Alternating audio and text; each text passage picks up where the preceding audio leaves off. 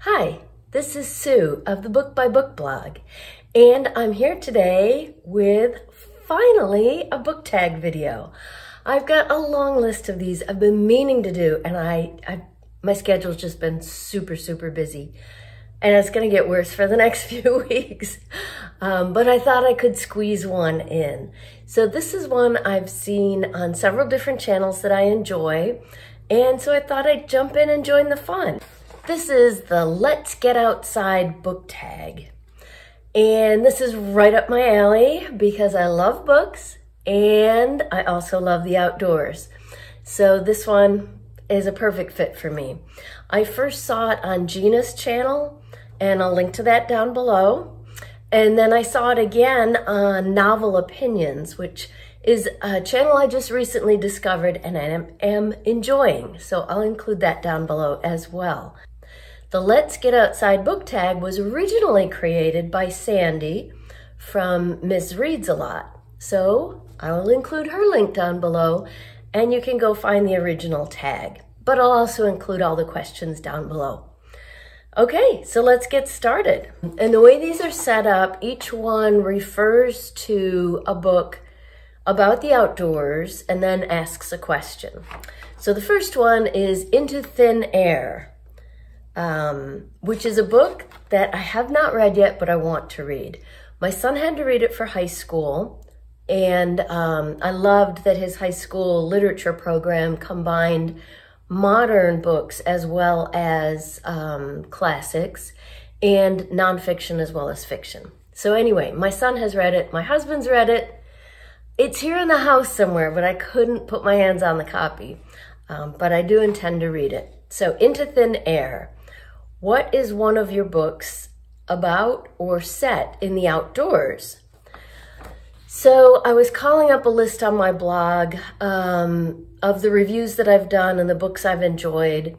I've got a whole category for nature, so I was looking through that, but then I realized the book I'm I finished just recently is probably one of my favorite books set in the outdoors. It's a new favorite and that is This Tender Land by William Kent Krueger. Um, right off the bat, you can see from the cover that it is a beautiful outdoor scene. Um, so this is about four orphans in 1932 who escape from an abusive situation by setting off in a canoe down the river. So the river they're close to feeds into the Minnesota River, which feeds into the Mississippi. And they're starting in southern Minnesota, and their plan is to travel by canoe all the way to St. Louis, where two of the boys have an aunt um, that they barely remember, but they know she's in St. Louis. So that's the overall plot of the book, but this novel just blew me away. Um, I gave it a perfect 10 for my book group because, and the overall, the overall average score in my book group out of 10 was 8.4, which is one of our highest scoring books ever. It is a wonderful novel. It is an adventure novel, but there's so much more to it than that. So much emotional depth. It's also brilliant historical fiction that really gives you an idea of how people were living during the Depression. Um, I just loved everything about it. So This Tender Land by William Kent Krueger is a book set almost entirely in the outdoors that I just recently loved. Okay, question two. Winterdance by Gary Paulsen, who is one of my family's favorite authors. Um, this is the true story of Gary Paulsen running the Iditarod for the first time, even though he's not very good at it. And the question is, do you have a hobby or skill that you keep attempting even if you are not particularly good at it? So I kind of struggled with this one. I have really had to think about it. Um, I guess I might put photography in this category. Um, I actually think I'm pretty good at photography. Some of my photos have been published along with articles that I've written. I like to write about travel and the outdoors. So, um, and some of my article, some of my photos have accompanied my articles in magazines and on websites. So I would say uh, it's not that I'm bad at photography, but I would very much like to get better at it. And one of my goals this year is to take an online course. I took a photography class decades ago when I was living in New Orleans, um, just kind of a basics. And I'd love to have a refresher and learn more about um, photography today, digital photography. Okay, question three. This refers to the book Wild by Cheryl Strayed. Um, I loved this book. In fact, this was my initial, without looking anything up, response to the first question about a book set in the outdoors that I liked. Um, it is a memoir about Cheryl's journey, uh, adventure, hiking the um, Pacific Crest Trail, which is a trail that runs from Mexico, I think beyond the Canadian border, um, all the way up the West Coast. She did it very impulsively and very poorly prepared, which as a former backpacker kind of blew my mind and made me a little nervous. but it's a wonderful memoir. Um, both the outdoor scenes and the emotional stuff because she does this because she's working through some really difficult things. Um, so that's that's the book that this question is based on, Wild. This is the story of Cheryl Strayed hiking the PCT after the death of her mother. So recommend another book where the central theme is dealing with grief. So I'm including two because they're very different kinds of books, but I thought both really tackled the issue of grief in different ways. So the first is a memoir called Making Toast by Roger Rosenblatt. So this is a memoir that he wrote after his adult daughter died. And I she had she was married and had I think three young children. So what Roger and his wife did after her death was left their home in New England moved to the DC area, moved in with their son-in-law and their three grandchildren, and helped to take care of them during this very, very difficult process. So it's not only about Roger dealing with the grief of his daughter's death, but also about helping his grandchildren to deal with the grief of their mother's death. Outstanding. I listened to it on audio. I believe it was read by the author, which I always find very powerful for a memoir. Um, highly, highly recommended. The other book about grief that I'm recommending, I also listened to on audio, but it's a very different kind of book. It is a middle grade book, fiction, called The Remarkable Journey of Coyote Sunrise by Dan Gemeinhart. Now, Dan is one of my favorite middle grade authors. Everything he's written has been great. Um, the Honest Truth is another one that I really loved. But Coyote Sunrise quickly became my favorite of his novels. Um, she just stole my heart. So this is a very different book about grief because it's about not dealing with grief. Coyote and her father, Rodeo, he's a bit of a hippie, um, have been living on a school bus, a renovated school bus, and traveling the nation for five years, ever since a tragedy occurred in their family. And they don't talk about this tragedy. So for the first part of the book, you don't really even know what happened, which is why I'm not giving away any spoilers. Um, but it has obviously affected Coyote and her father very much. But his approach is, we're not going to talk about this. We're not going to even mention it. Um, in fact, they haven't been back to their hometown in five years. So at the start of this novel, Coyote has her weekly phone call with her grandma and finds out that something's happening in their hometown in a couple of weeks that she doesn't want to miss. So she makes it her mission to somehow convince her father to drive from where they currently are in Florida all the way to Washington State without knowing exactly where they're going.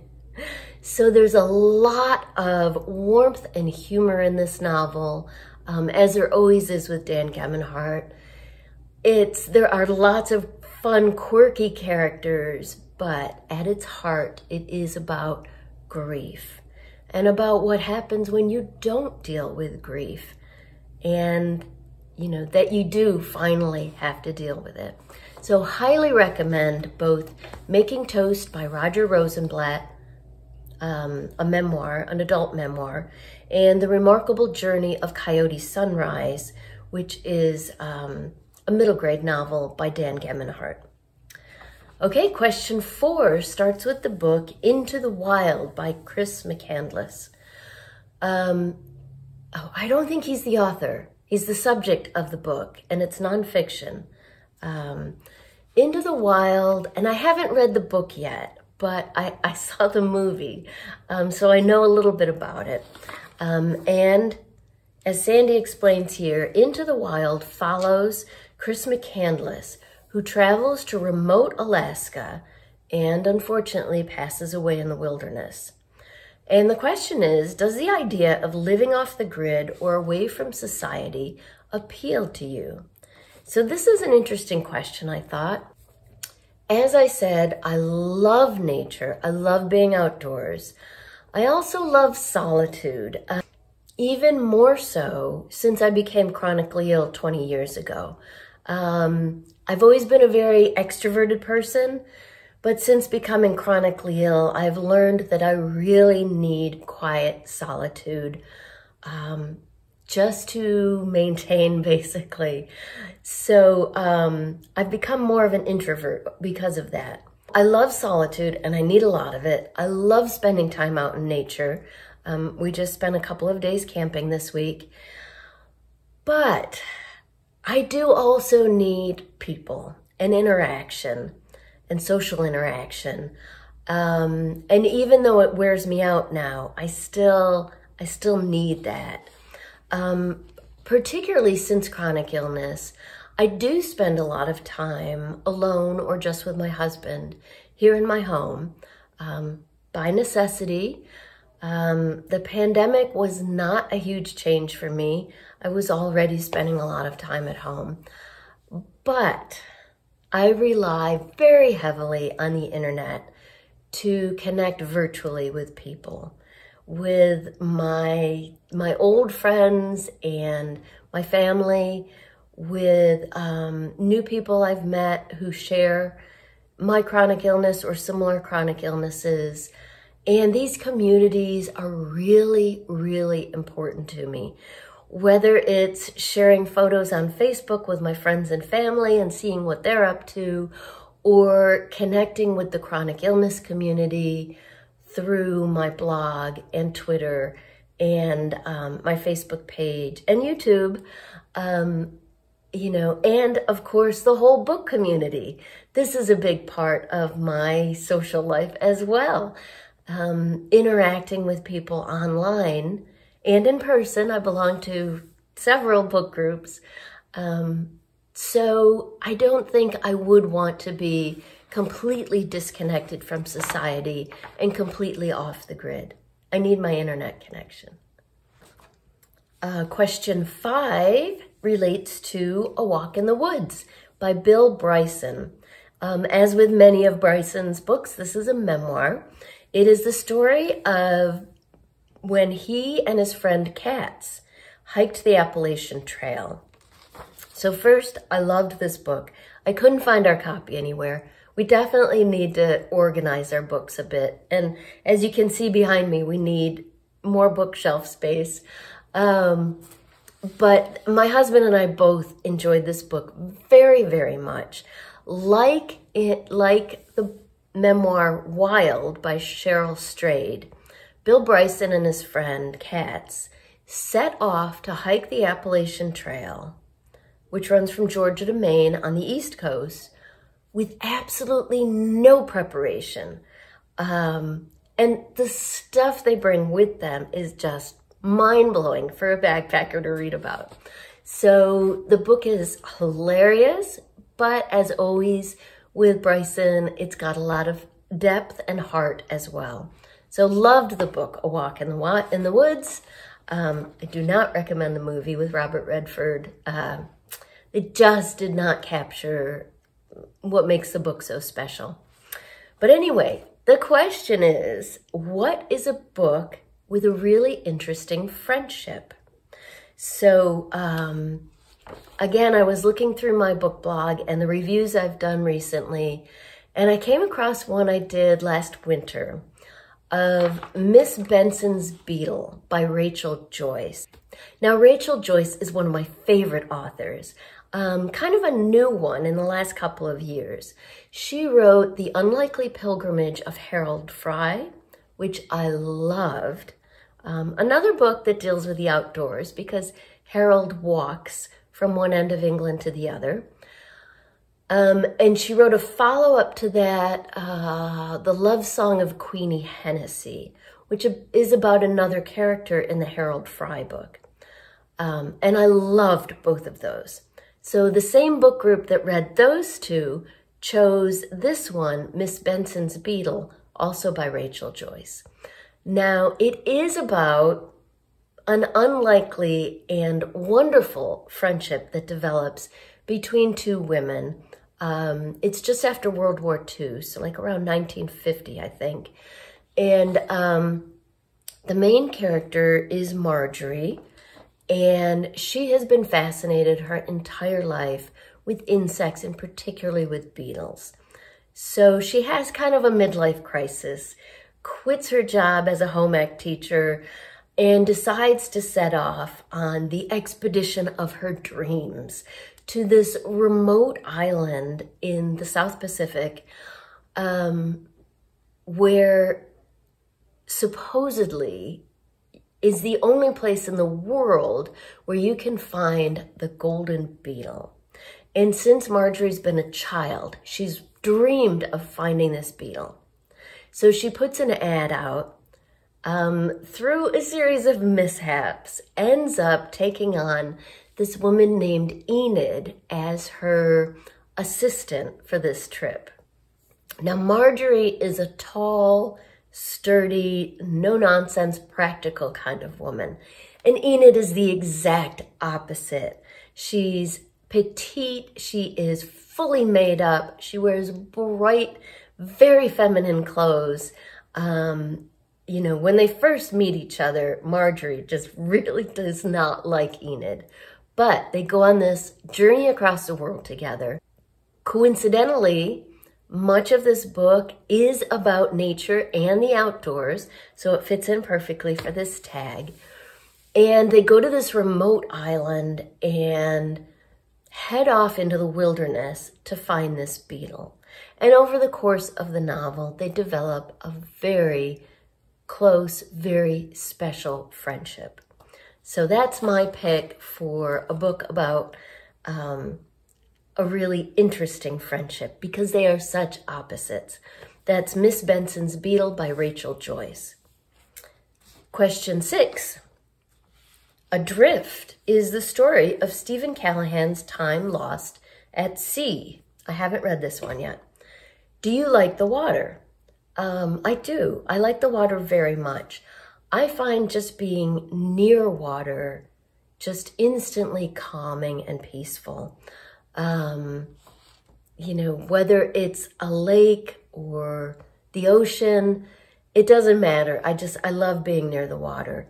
Um, that camping trip we just took was right on the water.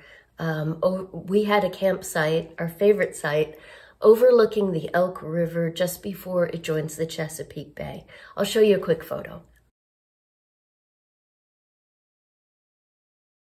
So I love having that view of the water, being near the water. Um, at night, you could hear the water lapping against the stones on the shore. It's just so calming. I love the ocean. Um, I'm not a really strong swimmer. I, I know how to swim, but you know, I'm not a super strong swimmer and I don't really enjoy swimming all that much, probably because I'm not that good at it. Um, oh, I guess I could have said that for something I'm not very good at. but um, but I, I love, like at the ocean, at the beach, getting in and riding the waves. Um, I love the smell of the water, the feel of it. Um, I've been sailing. My mother and her husband have a sailboat, and I enjoy that. And my ultimate dream, both my husband and I, is to have a house right on the water. Our guilty pleasure that we started during the pandemic is watching episodes of Lakefront Bargain Hunt. Now, we don't normally watch any HGTV type shows, but we love this show because it's people looking for a house on the water at a reasonable price. So this has become our dream now. Whether it's on a river or a lake, a bay, the ocean, it doesn't matter. I love being near the water. Okay, question seven. Hatchet by Gary Paulsen. As I said, my family loves Gary Paulsen. Um, as Sandy explains, this is a fictional story of a young boy who is in a plane crash while traveling to Alaska and has to survive with only a hatchet. So first a bit about that book because it is fabulous. Um, my family, we used to take long road trips when our sons were young. And every summer we'd, we'd head out with our camper for three weeks at a time. And one year, we always had audiobooks, of course, but one year, um, one of those audiobooks was Hatchet. And my sons went nuts over it. And my husband and I loved it too. That's how we were introduced to Gary Paulsen. It's a wonderful story, adventurous, suspenseful, well-written, um, highly recommended for like, there's some danger in it. So older middle grade, teen, and young adult readers. Um, and it's wonderful on audio. Definitely a great book for a road trip, as I can attest. So that's the book that this question is based on. Sandy asks, what is your favorite survival story? So again, I went back through my blog and looked at some of the books that I've reviewed. Um, and I realized just last year, I reread The Call of the Wild by Jack London. And it's a wonderful survival story. Um, it's really a survival story of a dog rather than a human. But um, most people are probably familiar with the, the story. It's about a dog named Buck. And what he goes through. Um, it's during the Alaskan gold rush, and he's stolen from the wonderful family home he lives in and taken up to Alaska to be a sled dog. And it's about Buck's, um, everything he goes through and his survival for sure. Uh, I first read it in seventh grade English class, I think. Um, and I had this old copy from way back then and um, just loved rereading it last year. So The Call of the Wild by Jack London. I also wrote down a more modern survival story, Where the Crawdads Sing by Delia Owens. Now, I know this book has gotten a lot of hype in the last couple of years, but I read it when it was an advanced uh, reader's copy. This is when I was writing reviews for Shelf Awareness. So I both got to review an advance copy of the book and interview the author. And I loved the book. It was just amazing. Um, as millions of other people can now attest. I can't wait for the movie adaptation to come out this summer. Um, but I also loved talking to the author. She's just fascinating. She's lived a fascinating life. All of her books prior to this one had been nonfiction. So this was a departure for her. But when I did interview her, she said she was working on another novel, and I can't wait to read that. And of course, Where the Crawdads Sing is essentially a survival story of a young girl left to fend for herself in the marshes of North Carolina. So highly recommend both of those as survival stories. And finally, question eight, a perfect storm is the story of fishermen who were, that were lost at sea during a huge storm. Do you like stormy weather? Um, I can take it or leave it, I guess. Obviously, I don't like the destruction that storms can bring. Um, oh, summer 2020, it was like August here, incredibly hot, and we lost power we lost power like five times that summer. But at one point in August, when it was like 95 and humid out, we lost power for a full week. Wasn't real fond of that storm. um, so I don't like the destruction that they bring. Um, if I'm hunkered down at home, cozy and comfortable, then I don't mind a storm. And of course, I love a snow day with a fire in the fireplace and a good book. And finally, question nine was tag some friends.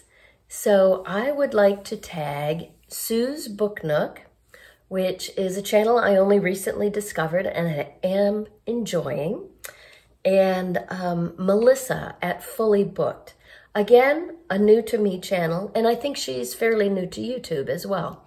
So please, I'll include links below. Please go and check out both of those channels. They're great. And of course, if anyone else wants to do this tag, join the fun. I really enjoyed this one. So thank you, Sandy.